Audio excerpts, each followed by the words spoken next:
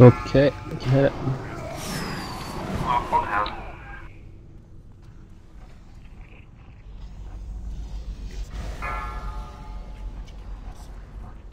Run away, little girl.